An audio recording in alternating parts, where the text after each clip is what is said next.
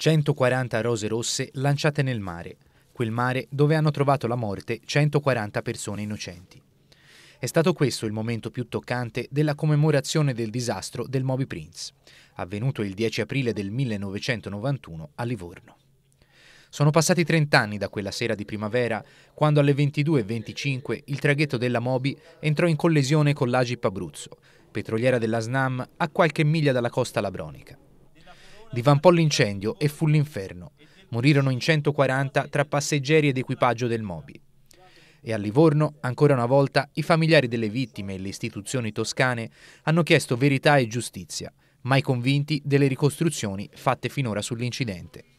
Perché non prendiamoci in giro, non è certo né la nebbia che arriva e che va, né la partita che ha distratto coloro che guidavano la, la nave, qui c'è qualcosa di molto più profondo e c'è se non altro da valutare le responsabilità di chi non ha attivato i soccorsi, perché la Commissione del 2018 ha acclarato che per almeno 13-14 ore vi sono stati segni di vita su quella nave e in 13-14 ore con i mezzi di ora come con quelli di 30 anni fa si doveva fare molto di più per salvare vite umane. La Regione Toscana ha realizzato in una stanza della Biblioteca Pietro Leopoldo del Consiglio regionale un armadio della memoria su tre grandi tragedie toscane.